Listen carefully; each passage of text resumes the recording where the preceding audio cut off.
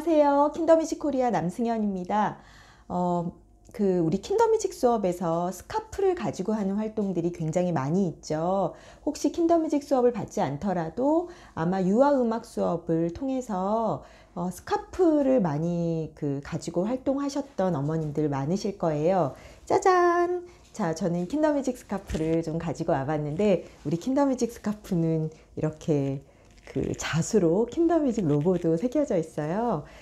그 우리 유아 수업에서는 이 킨덤 어, 스카프가 절대 없어서는 안 되는 교구 중에 하나이거든요. 어, 그렇다면 우리 아이들은 이 스카프 활동을 통해서 어떤 그 교육적 효과랄까 어떤 좀 베네핏을 얻게 되는지 이런 이야기들을 어, 좀 설명을 드리려고 해요. 어, 일단 지금 가정의 달이고 곧 어린이날이죠. 어, 이번 휴일 동안 아이랑 집에서도 스카프로 같이 놀아보면 좋으실 것 같아서 이 스카프 활동에 대한 의의를 조금 전해드리려고 합니다. 어, 우리가 이 스카프를 가지고 하는 활동 중에는 어떤 용어들이 많이 활용이 될까요? 스카프는 그냥 들고 이렇게 흔들기만 하는 교구가 아니에요. 얘는 이렇게 던질 수도 있고, 우리 킨더뮤직 수업에서는 영어로 된 활동 용어들이 많이 있죠. swish, swish, swish 또는 floating 할 수도 있고 또 bounce, bounce, bounce, bounce. 또 peekaboo, I see 우리 다양한 활동들을 스카프로 함께 하고 있어요. 자, 그런데 이런 스카프 활동들이 과연 우리 아이들에게는 어떤 도움을 주는지 한번 제가 몇 가지 좀 정리해서 말씀을 좀 드려보도록 할게요. 자, 기본적으로 우리 수업 안에서 아이들에게 우리가 스카프를 나누어 주면 킨더뮤직 수업에서는 그냥 선생님 하는 대로 따라하세요. 이렇게 진행하지 않지요. 보통 아이들이 뭐 어떤 악기가 됐던 교구를 받게 됐던 정말 아이들의 발달에 딱 맞추어서 아이들이 먼저 exploring 하는 시간이 우린 있어요. 자, 스카프에 대해서 아이들이 탐색을 하죠. 이걸로 막 이렇게 얼굴을 가리기도 하고, 그냥 뒤집어 쓰기도 하고, 뭐 던져보기도 하고, 꽃처럼 아, 이렇게 꽉 뭉쳤다가 쫙 이렇게 던져보기도 하고, 여러 가지 아이들의 그 탐색을 하게 되죠. 그러면 선생님께서 아, 우리 승현이는 와 위로 이렇게 던질 수 있구나. 뭐 우리 누구 누구는 이렇게 펼쳐서 와 까꿍놀이도 할 수 있구나. 여러 가지 아이들이 탐색하는 이 스카프 활동들을 이제 그 뭔가 격려해 주면서 아이들의 창의성을 돕게 되거든요. 자, 아이들이 이렇게 악기 이런 교구들을 탐색하고 탐구하면서 어, 떻게 활용할 수 있는지 다양한 창의력과 상상력을 불어넣어 줄 수 있습니다. 첫 번째. 자, 또 두 번째로는 어, 이 스카프는 다분히 다른 악기보다는 좀 더 움직임이 길어요.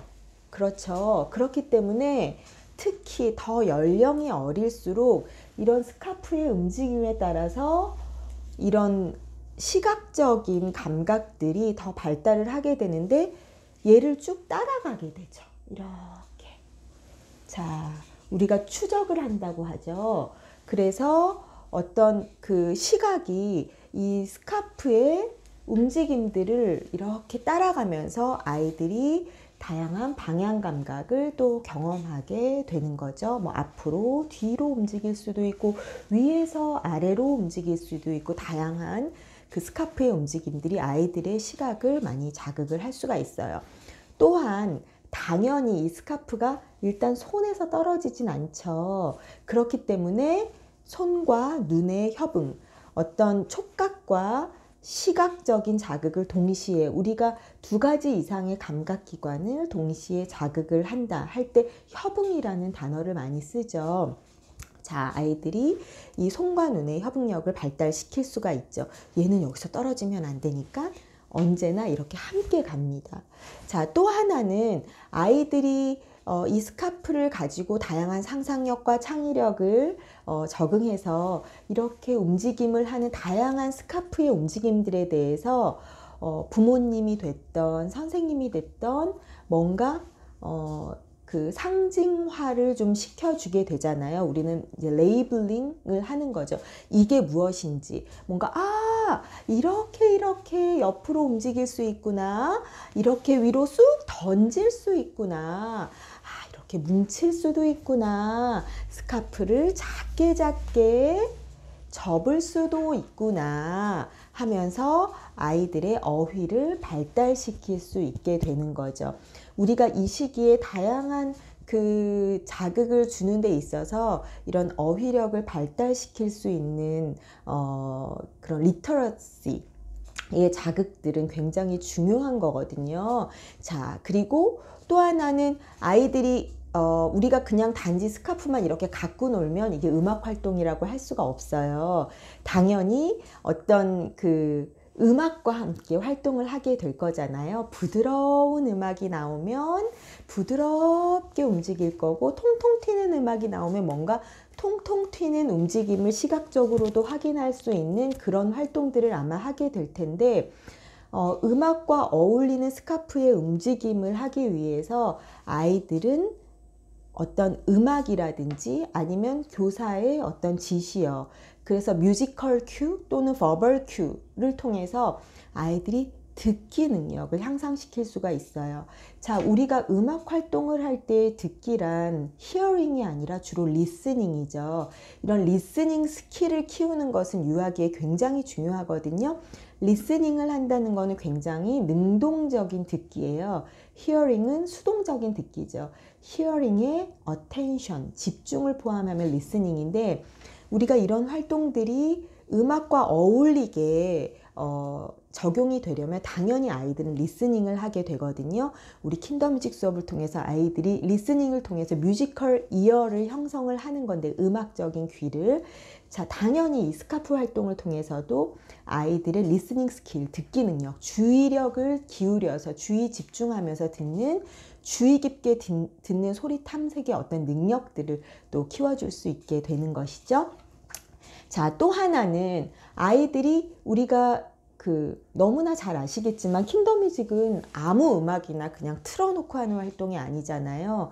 킨더뮤직 수업에서 사용되는 음악들 굉장히 high quality인데 또 특히나 어떤 그런 활동의 목적에 맞추어서 편곡된 음악들이죠. 대부분들. 그래서 go and stop 하는 활동들이 굉장히 많아요. 그래서 어, 뭐, 뭐, 따라라 뭐, 이렇게 부드럽게 가다가, and stop. 하고, 뭐, 딴딴딴딴딴딴딴딴딴딴딴딴, 이렇게 통통통통 튀는 음악으로 또 바뀐다든지 하면서 음악이 나오다가, 멈췄다가, 또 나왔다가 하는 그런 음악들 굉장히 많이 있죠. 자, 그렇게 뭔가 활동을 탁 멈췄다가 다시 고 하는 이런 재미있는 활동 안에서 아이들은 자기 조절 능력을 키울 수 있게 돼요. 아이들은 계속해서 가는, 가다 보면 자기 조절 능력 당연히 안 생기죠. 그런데 쭉 가다가 멈춰요. 그야말로 얼음.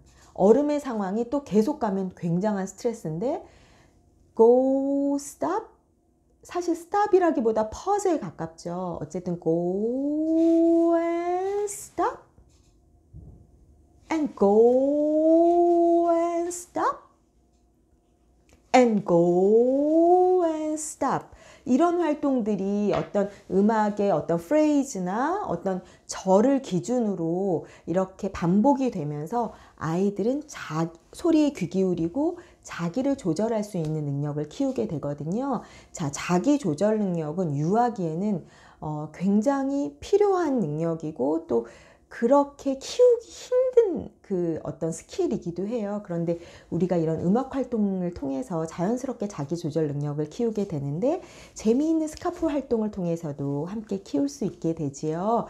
자, 내가 지금 무엇을 위해서 아이와 이 스카프를 가지고 놀아주는가? 너무 고민하실 건 없고요. 지금 제가 설명드렸던 이런 효과들을 우리 아이들에게 자연스럽게 줄 수 있으니까 무조건 이번 휴일에는 아이와 함께 스카프로 재미있게 놀아보시면 좋겠습니다. 자, 즐거운 휴일 보내세요. 감사합니다.